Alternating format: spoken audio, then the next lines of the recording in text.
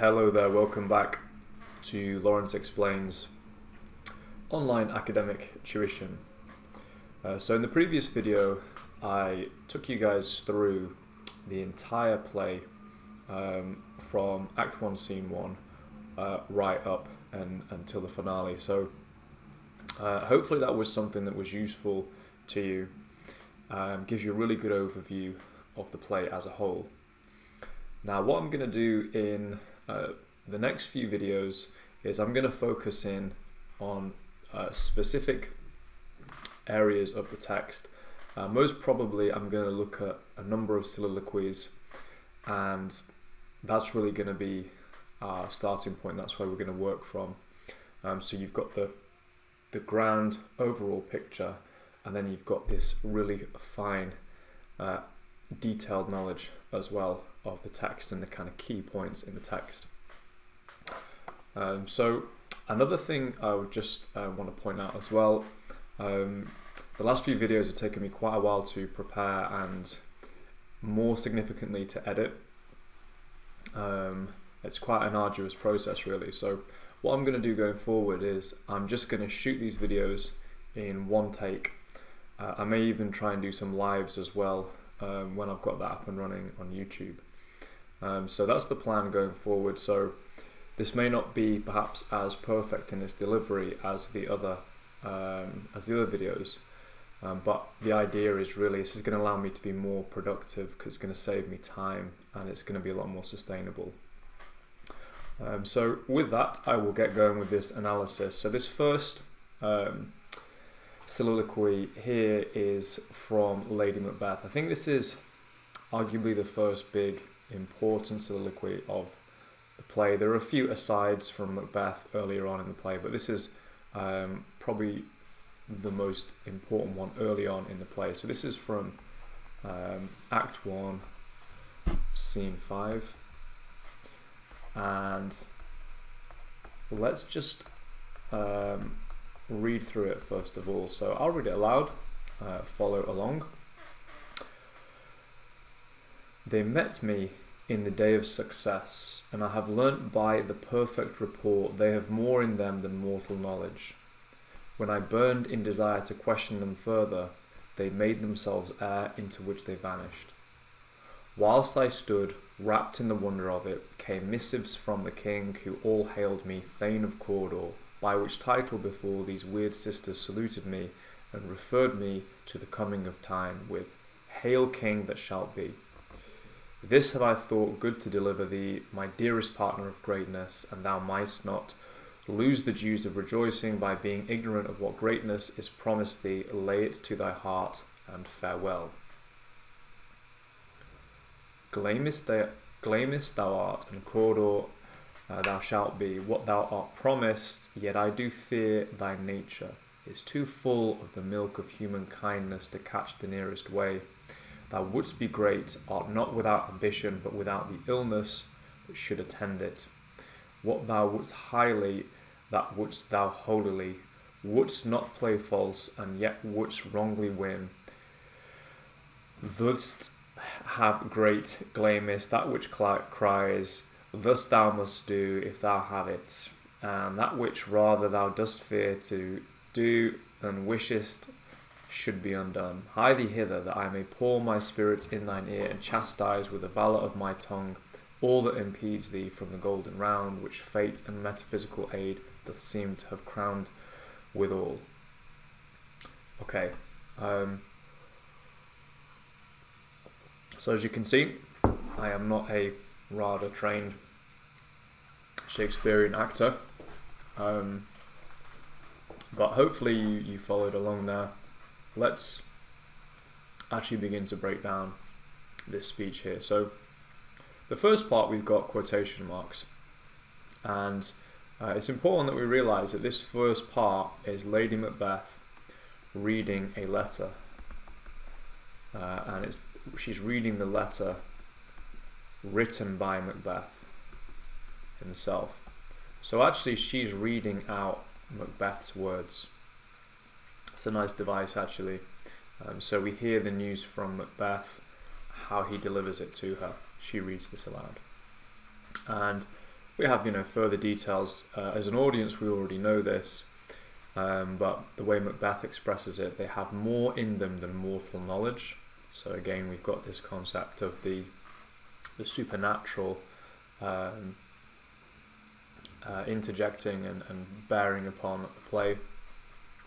I burned in a desire to question them further. So his curiosity was really piqued. He burned in a desire. Whilst I stood wrapped in the wonder of it, came missives from the king. So while he was just like, wow, this is what an uh, immense, powerful experience I'm having here. The missives, the notices, the letters from the king arrived, and he was crowned. Uh, he was given the title Thane of Cawdor, um, and obviously he uh, discusses there. These weird sisters saluted me and referred me uh, to the coming of time with "Hail, King that shalt be." And so he's basically saying, you know, the prediction came true straight away before I'd even really finished this um, most unusual supernatural experience. Uh, and the way he addresses Lady Macbeth, I think, is important. This is a nice quote My dearest partner of greatness. So, again, this, um, this kind of fits with the idea of Lady Macbeth being a powerful character um, there's different discussions of gender dynamics and gender roles in Shakespeare. Uh, I, I actually think Shakespeare writes very interestingly about women. Most in most of the plays, there are women with very significant roles in the play who wield um, significant amount of power and influence in the play, and uh, in some cases, Lady Macbeth being a case in point, she's really one of the drivers in the play, if not the driver of the action in the play. Uh, and Macbeth addresses her as such, my dearest partner of greatness. So he definitely sees her as an equal. And I think that's actually an important thing to remember. Um, that thou mightst not lose the joys of rejoicing. So basically, uh, you know, she, he's delivering this notice to her so that she's able to uh, rejoice and enjoy what greatness is promised thee. So, obviously, if Macbeth becomes king, what does Lady Macbeth become? She becomes queen. Lay it to thy, to thy heart and farewell. Okay, um, so this is, uh, you know, fairly, uh, you know, this is a kind of doting husband in a way who's like very happy to, in this case, he doesn't have the option to call her or text her, so he's sending her a letter expressing his happiness, well, his his thoughts anyway, and his excitement rather, and uh, sharing that with uh, Lady Macbeth. Okay, so the second part of this speech here, uh, we have the uh, response of Lady Macbeth. So we have um, her own thought process, her own internal um, considerations and dialogue. So let's have a look at this. Glamis thou art, and Cawdor uh, thou shalt be. I think that should be thou shalt be. What thou art promised. Um, so you become um, and you shall be what you promise. Yet I do fear thy nature is too full of the milk of human kindness. So this is uh, absolutely classic quotes here. I fear thy nature is too full of the milk of human kindness. So, her assessment of Macbeth, uh, he is too kind, too nice. the the brutal soldier of Macbeth, who we just know is unseamed, um, a rival from knave to the chap. So this like ruthless soldier she believes that he's still too full of the milk of human kindness. He's not actually um, cold enough to to carry this out. So uh, her assessment is ultimately correct. Uh, she is correct about this. So that's important that we, we remember that going forward. She was correct in her assessment of her husband. Secondly, um, there's an implication here. I fear thy nature is too full of the milk of human kindness to catch the nearest way. Well, what does she mean by that? Why why would he why would this be a problem? And and what is the nearest way? Why is being too full of the milk of human kindness a problem? There's an implication in this, and the implication is she already knows what's gonna have to transpire. She's already aware of what will have to happen. Uh, she assumes that they are going to have to commit murder. So there is an assumption here. So again, it kind of shows her thought process is just equally as swift and dark as Macbeth's, and the assumption of murder and regicide. Straight away, it's not something that she needs to go over in her head of how is he going to become king. No, she knows how he's going to become king. Or not without ambition, but without the illness to attend it. So that's a lovely, a balanced phrase there. Not without ambition, but without the illness that should attend it. So he's got the ambition, but he doesn't have the illness, in this case, the viciousness and the ruthlessness and the coldness that needs to go alongside ambition in her eyes to succeed. Um, so this is a great quotation. That's definitely one I would take from this. Um, again, that's her, that's her viewpoint on her husband, and it is basically correct.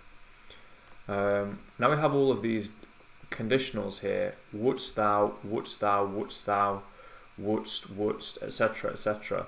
Um, so we've got a number here of, I would say, conditional phrases. Those are the ones I struggled with as I was reading them out.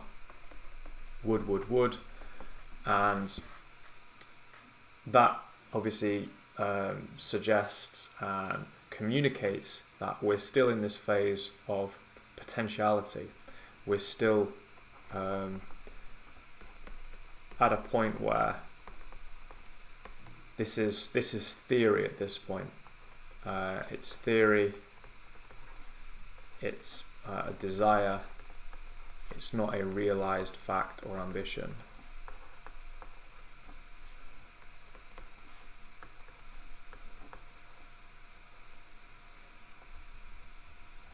ambition. And the the multiple conditionals there, would, would, would, etc. Would is the conditional tense. That just emphasizes that fact.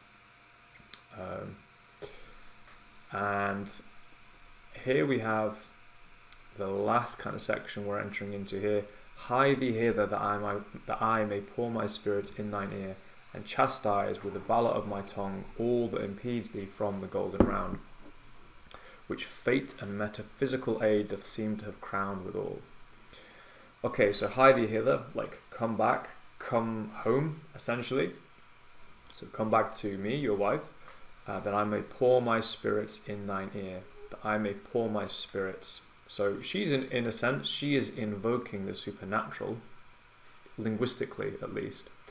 Um, and the sentence as a whole means, you know, I may, you know, get into your ear, essentially manipulate you, really. That's what she's saying. So come back, allow me to manipulate you, or allow me to uh, strengthen your resolve, and chastise with the valour of my tongue all that impedes thee from the golden round. So chastise, um, meaning sort of in a way kind of means harass or um, attack with the valour of her tongue, so by her own speech, anything that impedes him, anything that gets him, um, uh, gets in the way of him achieving the golden round, so the crown.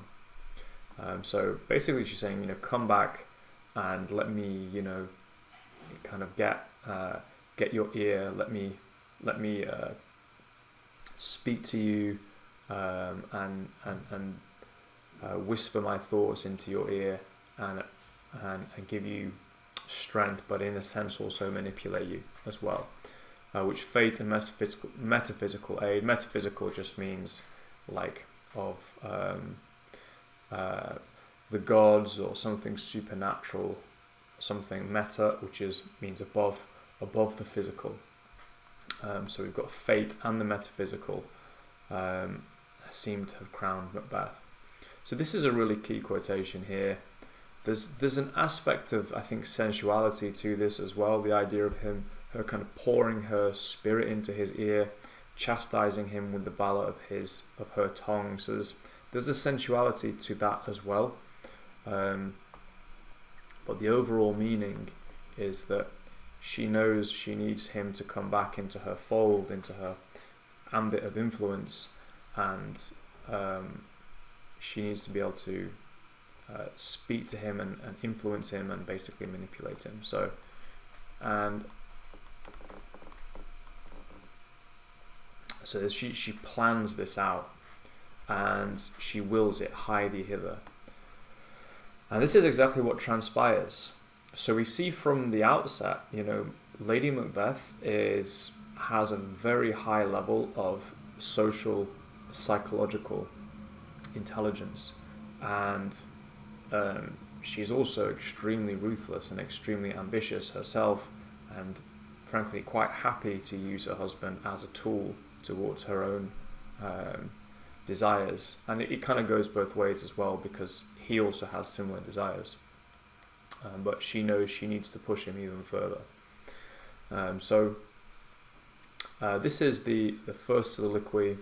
It reveals quite a bit about Lady Macbeth's character, some great quotations there, and obviously we learn her kind of intellect and her social intelligence are pretty formidable and she has really the perfect assessment of the situation, which as time goes on we see she was in fact correct in her assessment and she was also right about what she would do and how that would, would play out as well. So we see her intellect and her foresight early on in the play. Uh, so I will leave this uh, video there and shortly I'm going to come back and we're going to take a look at the, the next um, so what's going on here? Yeah, so shortly we're going to come back and take a look at the the next soliloquy, which follows up later in this scene, Act 1, Scene 5. So I'll be back and I'll get that one up and running shortly. So uh, I will leave you with that.